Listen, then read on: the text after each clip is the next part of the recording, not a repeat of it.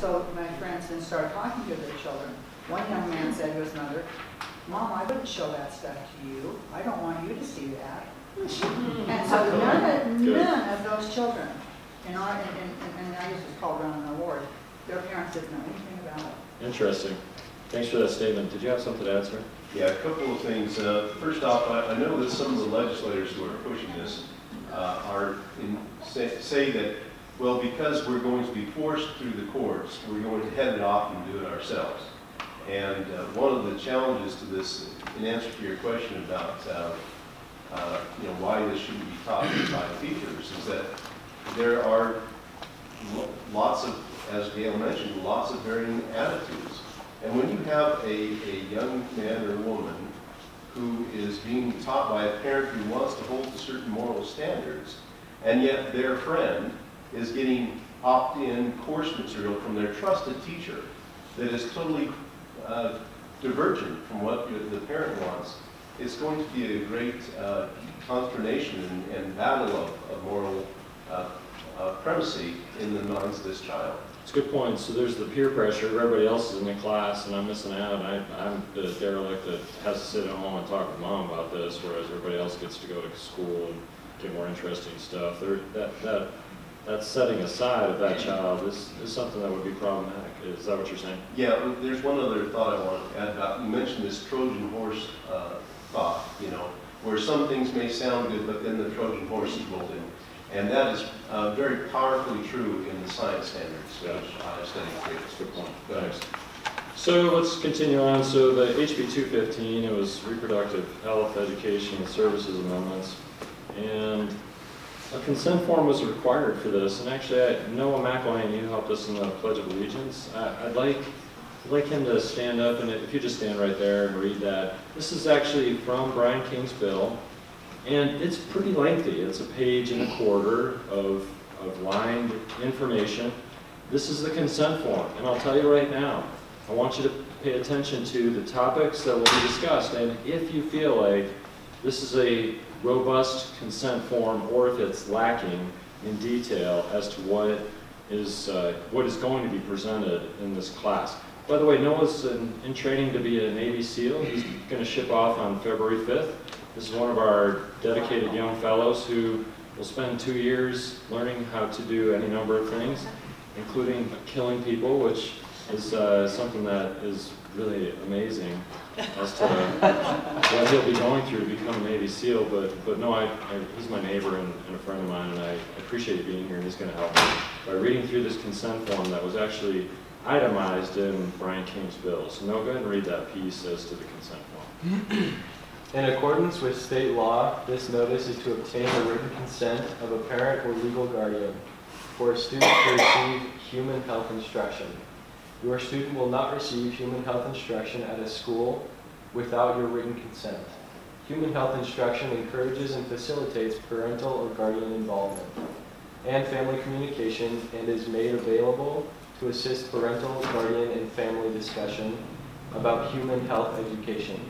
This instruction helps students develop skills for making responsible and healthy decisions about human sexuality, personal power, boundary setting, developing safe and healthy relationships, and resisting, resisting peer pressure, including not making unwanted verbal, physical, and sexual advances, and not making assumptions about a person's supposed sexual intentions based on that person's appearance.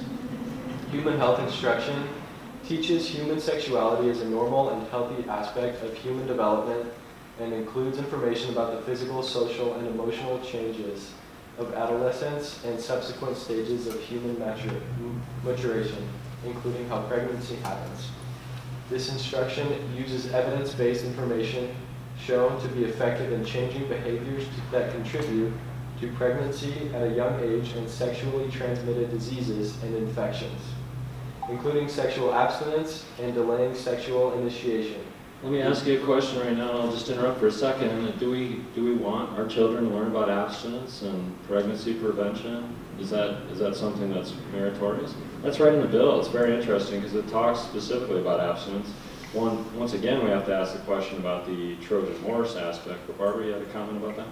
I don't want the school teaching my, ch- my grandchildren anything about sex. What if they, uh, what if they teach about abstinence and how to protect I against don't sexual want to talk infections and anything. pregnancy? Nothing. Be- Because it's a controversial subject right now. I don't want my children, my grandchildren, thinking about these subjects at school. They're not there to learn that.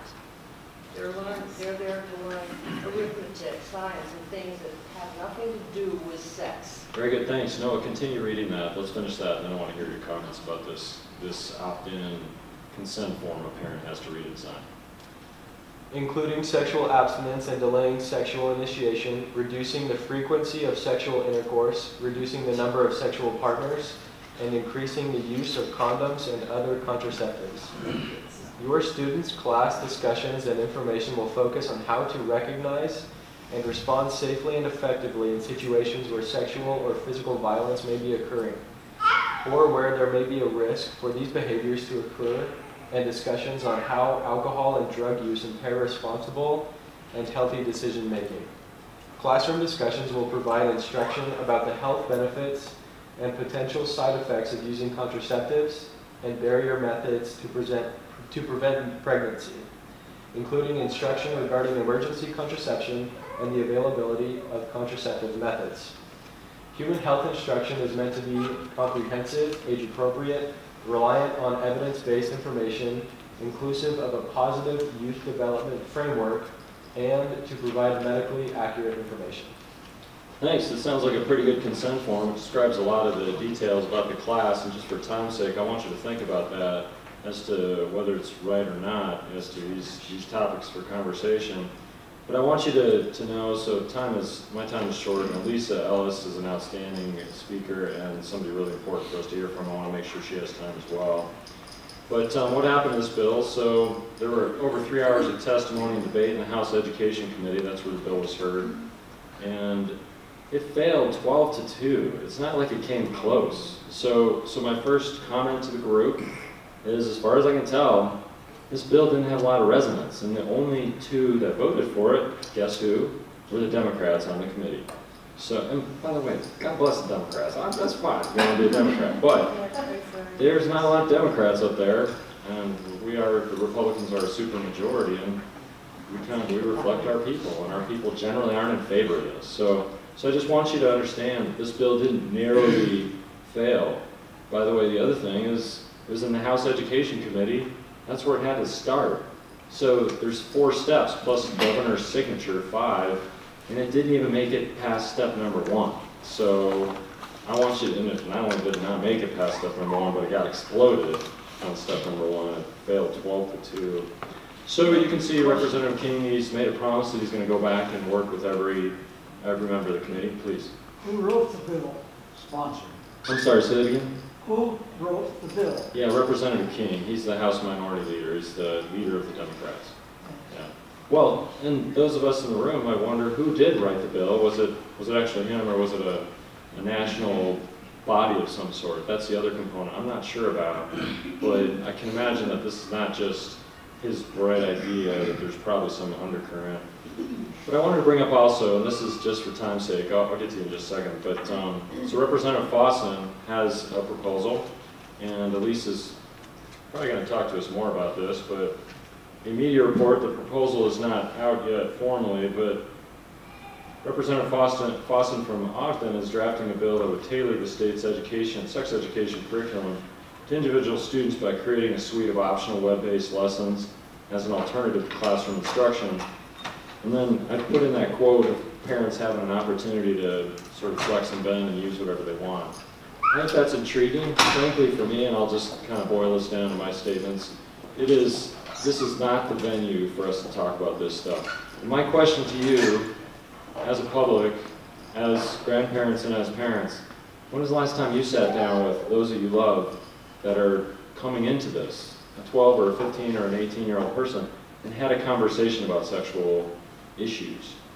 And I can imagine that as I go around this room, that probably has not happened very often in this room uh, with different people. I hope you've done that. I'm just thinking for myself. I've got eight children. When was the last time I sat down with them and had these conversations? We just kind of march forward day by day, taking care of the, the needed routines. But meanwhile, our children are confronted with challenges. And this is a government response to deal with those challenges in this issue. But I'll warn you, if you and I aren't going to do it, we're not gonna have these conversations with our loved ones. Somebody else is gonna step in and do that for you. And you may be disappointed with how that actually is effectuated. So, so part of this is making sure that you are aware of what's out there that you're taking as a liberty-minded group of people. You're taking the responsibility upon yourself to do that which you think you should do. My friend in the back. Okay, I was just going to point out, you said pledged to, to meet with all these people and come to some, some sort of agreement, things that people would be more comfortable with maybe. He did that last year. Right. So he met with about 10 different people from different groups. I was in those committee meetings with him, and we had, we had people from, I'll tell you, both sides of the aisle in there. Right. And what we saw in there is this really is being driven primarily by um, sex health therapists, especially Mormon ones. They seem to be the biggest push behind it and convincing him that he needs to keep trying.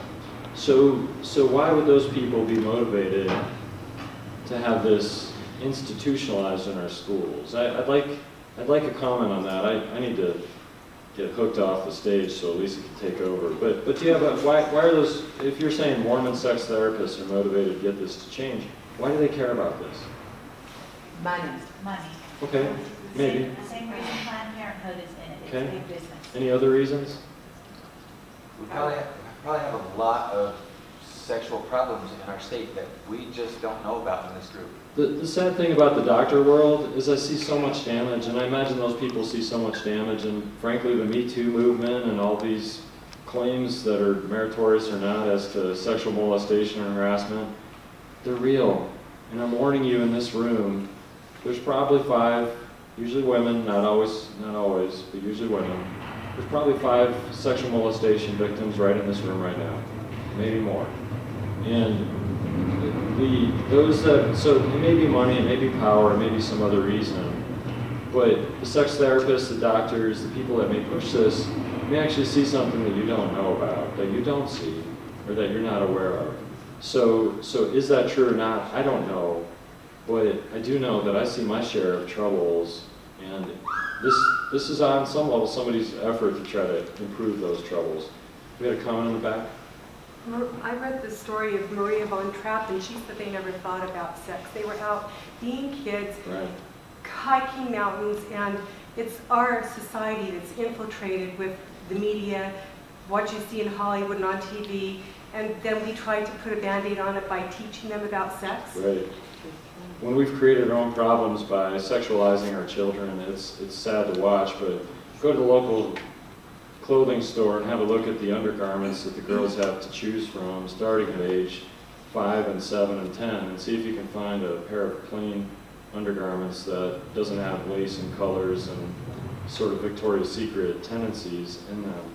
And, and then we wonder why we have these issues. So, so I, I'm going to sit down. I appreciate the, the comments. I'd like to hear more, but I want to hear from Alisa too. But thanks for your tolerance, and we'll turn the time over to Alisa.